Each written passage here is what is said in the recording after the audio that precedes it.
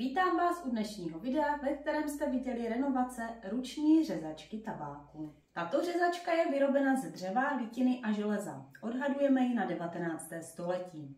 Výrobce se mi nepodařilo vypátrat a původ odhaduji nejspíš na Spojené státy.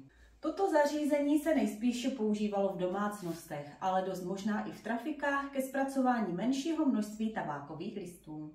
A teď jedna otázka. Co se vám vybaví, když se zamyslíte nad historií tabáku? Mně indiáni a jejich dýmka míru. No a taky Krištof Kolumbus, objevitel, který odkoukal kouření a to se rozšířilo po celé země kouli. V Evropě se poprvé podařilo vypěstovat tabák belgickému botanikovi v polovině 16. století.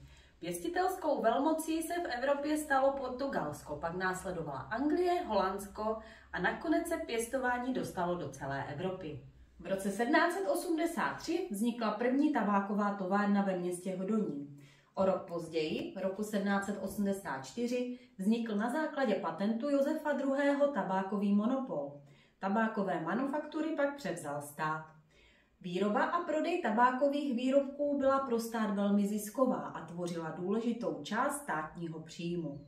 Již v roce 1784 byl zisk z tabáku do státní kasy přes 3 miliony zlatých a v roce 1850 zisk převyšoval 15 milionů zlatých. V roce 1843 až 44 byla v hodonínské továrně zavedena výroba doutníků.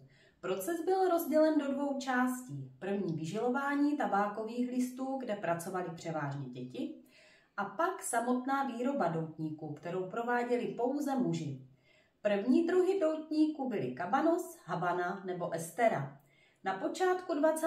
století se cigarety i doutníky staly společenským fenoménem. Objevovaly se hodně ve filmech, neobešel se bez nich žádný večírek a za války si generálové vyžadovali tabák pro vojáky, který byl součástí výplat. A to je z dnešního videa vše. Děkuji za zhlédnutí a pokud se vám video líbilo a chtěli byste vidět další zajímavý obsah, dejte nám svůj odběr, like sdílejte s přáteli a napište komentář. Těším se na vás opět příště.